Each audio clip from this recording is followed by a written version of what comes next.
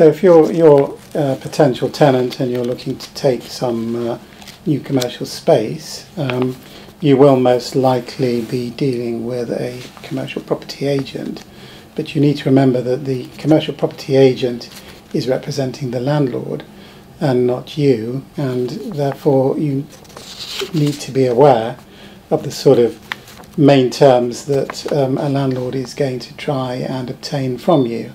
I mean, the leasehold system in this country is quite complex and has evolved over centuries and tends to be rather weighted in favour of landlords, which makes it all the more important that you try and understand, you know, a few of the important terms.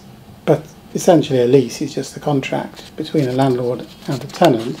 Unlike most contracts, it is negotiable, so you should feel free to um, negotiate. But we would always be very happy if somebody uh, if a potential tenant comes to us first to say, look, these are the terms on offer, uh, is there anything you can do to help us improve on those terms? And uh, if we're brought in at, at, the outset, then there's usually more we can do than if you come, say, to a, a solicitor after you've already agreed terms in principle, which can make it harder to try and sort of unravel what's been agreed.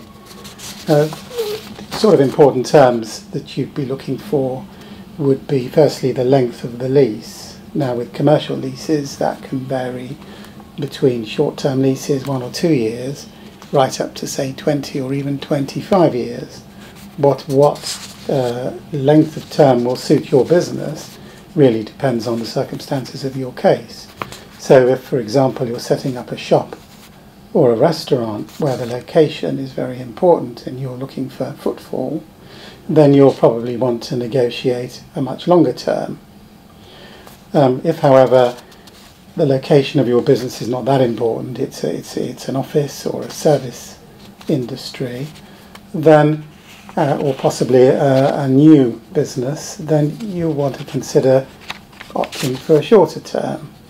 But what you can do is perhaps try and negotiate a short term with an option to um, renew the lease or go for a slightly longer term but with a break clause in that so that after say three years or five years you have the option if you're the tenant to uh, break the lease. Um, the rent is obviously an important consideration too. Most um, landlords will try and hold out for the uh, for a full market rent, and they like to try and keep in there a, a what they call a, a, high headline rent. So obviously you'll try and negotiate um, the rent down if you can, and it's important to know rental values in the area. but uh, what you can also consider doing is negotiating, say, a rent-free period. So if, for example, you're going to have to move into the premises and do some fitting out, or let's say the premises are not in pristine condition and you're going to have to redecorate, then you know, don't be afraid to, to say, well, it's going to cost me money to move in here. I want you know, a decent rent-free period, maybe three months or six months rent-free, all of which will help. Um, consider also importantly the rent review pattern if you're a tenant, you should try and hold out for five yearly rent reviews, whereas some landlords might push for, say, three or four yearly rent reviews. Again, you know, try and negotiate on that. Another important area with leases is repairing um, obligations.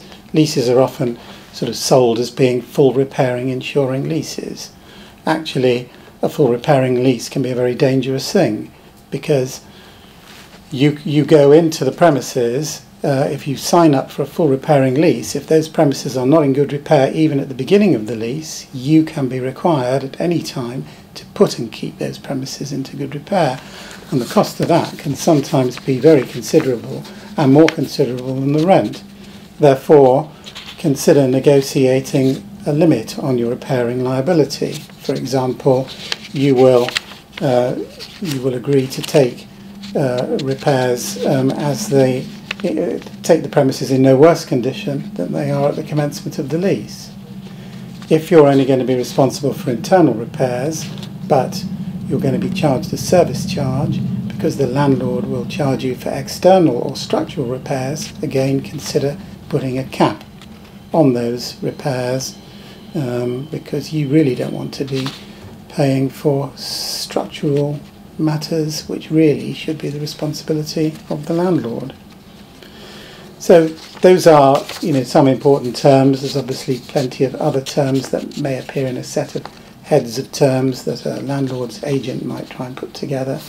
So again, always better to try and consult us early on, and we hopefully can help you with that negotiation.